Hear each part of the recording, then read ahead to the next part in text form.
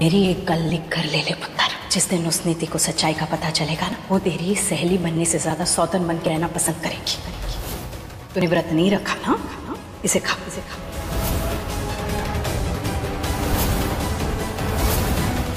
परी ने रखा राजीव के लिए करवा चौथ का व्रत। नीति के सामने आया परी का राज। जी हाँ कलर्स के पॉपुलर टीवी सीरियल परिनीति के अपकमिंग एपिसोड में हम देखेंगे कि परी और नीति दोनों ही राजीव के लिए करवा चौथ का व्रत रखते हैं। वहीं परी राजीव के लिए छुप छुप कर व्रत रख रही है और इसी बात को टेस्ट करने के लिए ताई जी परी को बिस्किट खाने को कहती है, लेकिन परी हिचकिचाने लगती है और नहीं खाती। वहीं हम आगे देखेंगे कि अपने व्रत को तोड़ने के लिए परी और नीति दोनों ही तैयार होकर एक साथ जाती हैं। वहीं जब नीति का हस्बैंड संजू उसे पानी पिलाकर उसका व्रत तोड़ रहा होता है तो इतने में परी चक्कर आकर गिर जाती है और राजीव की नज़र परी पर पड़ती है। वहीं परी को इस हाल में देखकर राजीव के होश उड़ जाते हैं और वो खुद को उसकी मदद करने से रोक नहीं पाता और सीधा परी के पास भागे चले जाता है। वहीं संजू का ये रिएक्शन देखकर नीति हैरान हो जाती है और नीति के मन में होने लगता है शक। पर आपको क्या लगता है